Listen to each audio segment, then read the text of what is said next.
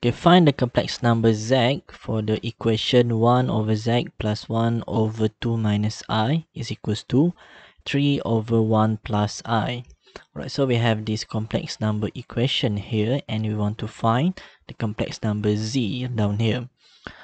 Alright, so to solve this question, first we need to rearrange this equation. First we can bring 1 minus 2, 1 over 2 minus i to the right hand side. So it's become 1 over z equals to 3 over 1 plus i minus 1 over 2 minus i. And then we can combine these two fractions here. Okay, so to combine we need to uh, cross multiply this and then uh, we, can, we to multiply 3 by 2 minus i and negative 1 is multiplied by 1 plus i and then at the denominator 1 plus i is multiplied by 2 minus i.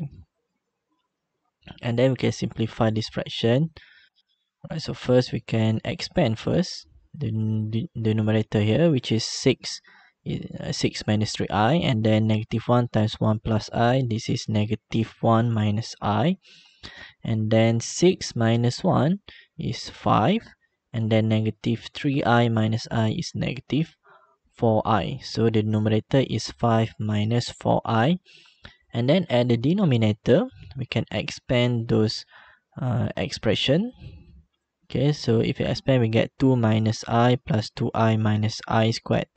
So negative i plus 2i, this is positive i.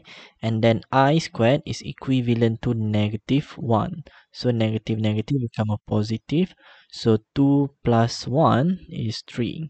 So at the denominator, we have 3 plus i.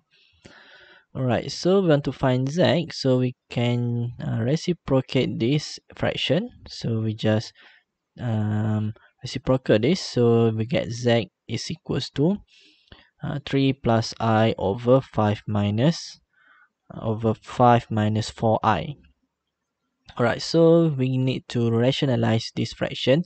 So to rationalize we're going to multiply this by the conjugate for the denominator which is uh, 5 minus 4i the, the conjugate is 5 plus 4i so we multiply at the numerator and also at the denominator. Alright, so we're going to simplify this. So at the numerator we can expand first. Okay so it's become 15 plus 12i plus 5i plus 4i squared. So 12 plus 5i become 17i okay 4i squared i squared is negative 1 so this become negative 4 so 15 minus 4 is uh, 11 right so 11 plus 17i at the numerator. And then at the denominator since this is the complex number multiplied by its conjugate. So this is equivalent to 5 squared plus 4 squared. 5 squared is 25 and 4 squared is 16 so 25 plus 16 is 41 alright so we get the complex number z which is this complex number or we can distribute the denominator. So z is equals to 11 over 40 41 plus 17 over 41i so this is the answer